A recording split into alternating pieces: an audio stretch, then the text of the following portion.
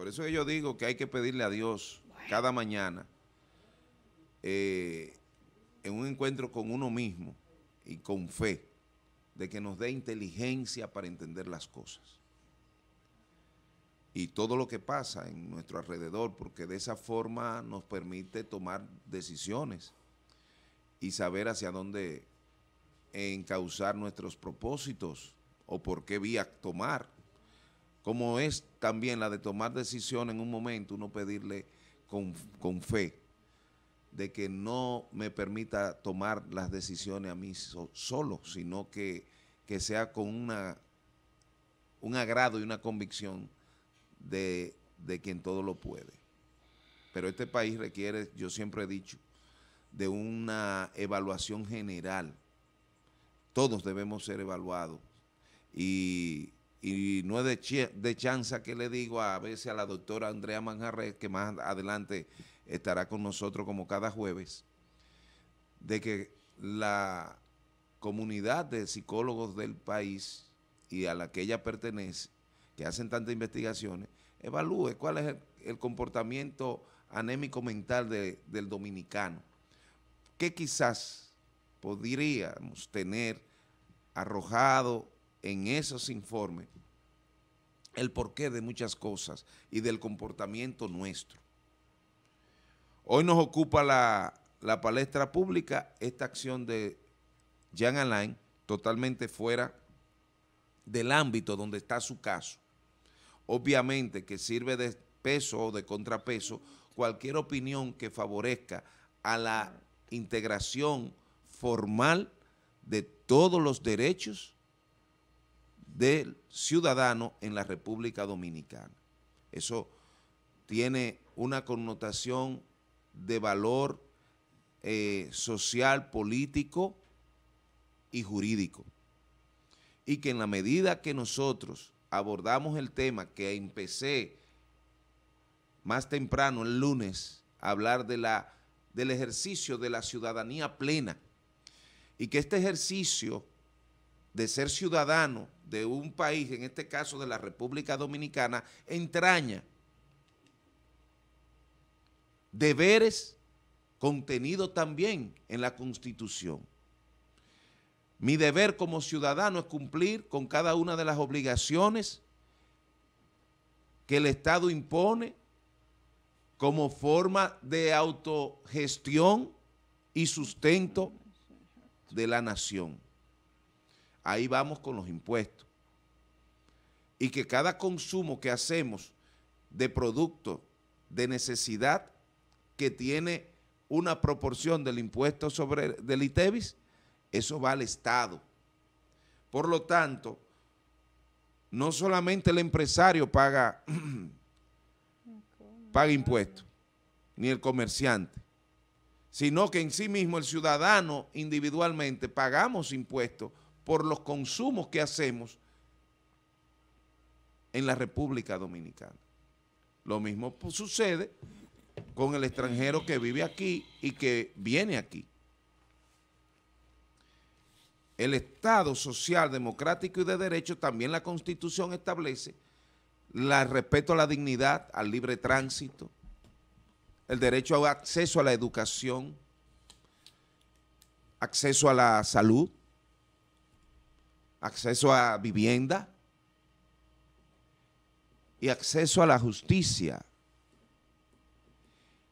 y que el control de esos derechos fundamentales lo tienen todos los tribunales de la República, en lo que llama el sistema, en el control difuso.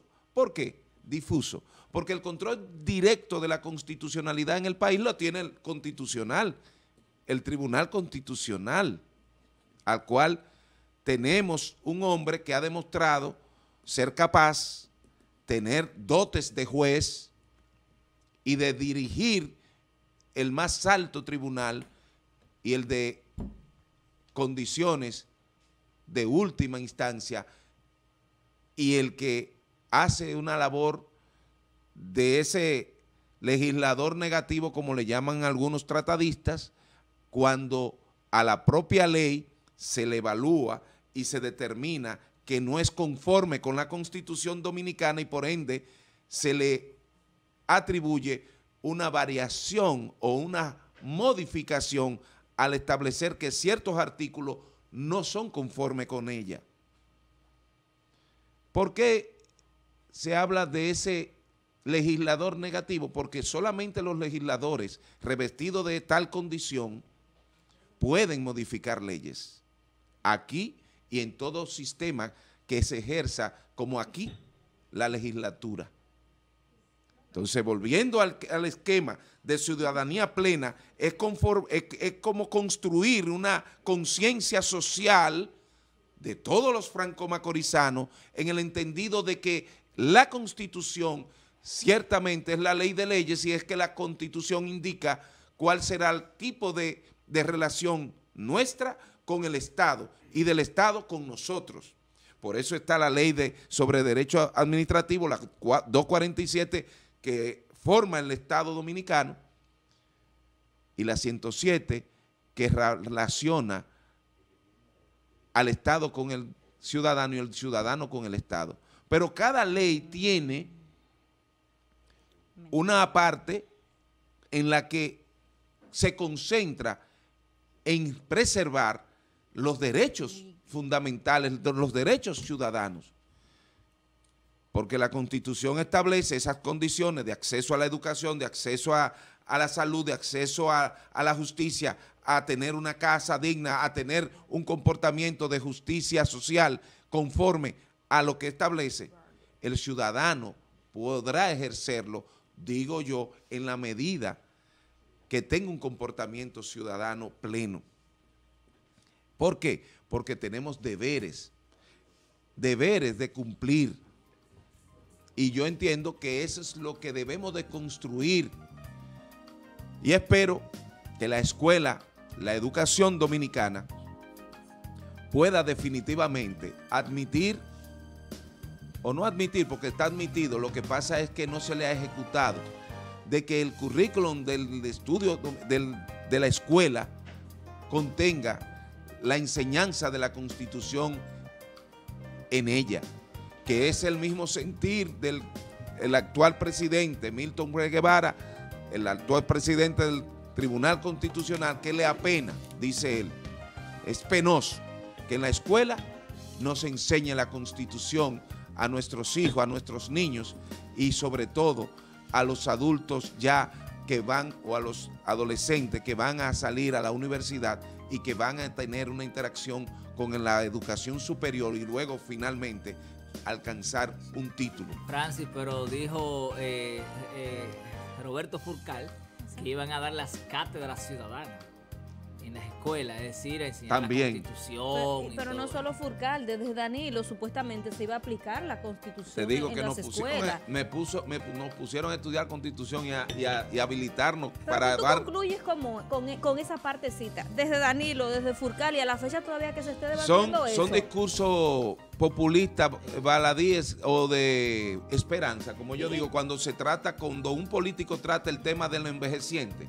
Aquí debemos definitivamente asumir la ley de envejeciente y que tengan los envejecientes cuando abordan un vehículo un trato oh, oh, digno oh, y sobre todo una mejora en el precio. Si yo pago 350, que lo que dice la ley es que el envejeciente va a pagar una proporción menos el ciudadano común. El tema del envejeciente se va a incluir, el tema de la niñez, pero darle eh, eh, eh, propiamente el carácter que, y, la... No, es un derecho, un derecho de los iguales que está por encima de muchos. Y realmente hacer el trabajo que tenga que hacer, agregar la mujer, pero también los hombres, y esto es lo que se habla del Ministerio de la Familia, porque no se toma en consideración los hombres, que también independientemente de son seres humanos, que tienen debilidades y que necesitan en determinados momentos apoyo. Vámonos para que la ciudadanía plena se refiere a todo. Totalmente.